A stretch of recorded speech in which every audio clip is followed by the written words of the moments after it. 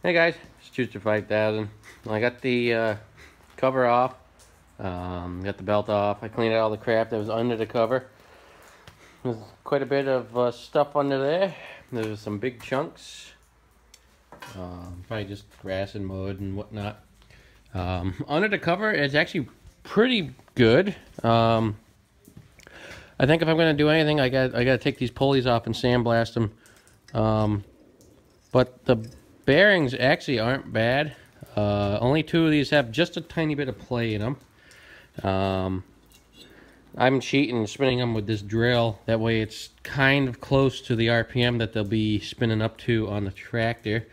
Um, I spun them all with the drill. And I got a quarter inch to a, quarter to three eighths to a three eighths and a half inch. And this is a uh, inch and a sixteenth socket. That's what fits down there good.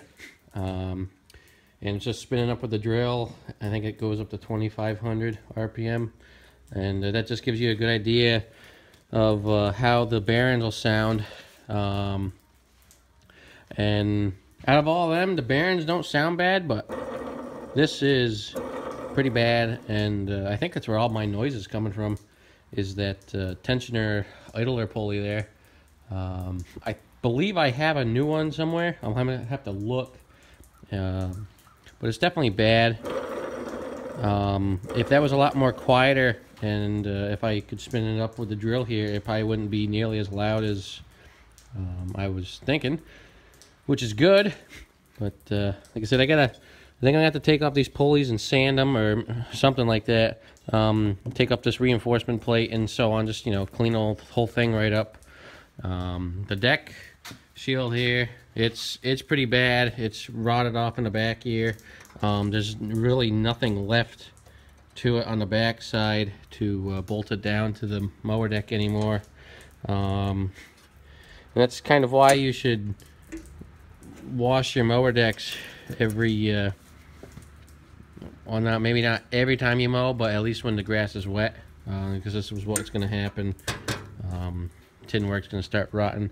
But the deck itself is actually pretty sound, so uh, I believe that's the best part. Um, now, the only thing I'm going to have to really do is get a uh, uh, one of these springs, which I think I got one, uh, one of these pulleys and a couple belts, and uh, find a deck cover. Um, and I believe I got some wheels already um, out on a uh, another deck outside here. I'll show you that deck. Um, this is the deck here I can use for parts. I can actually take the roller off of this one as well.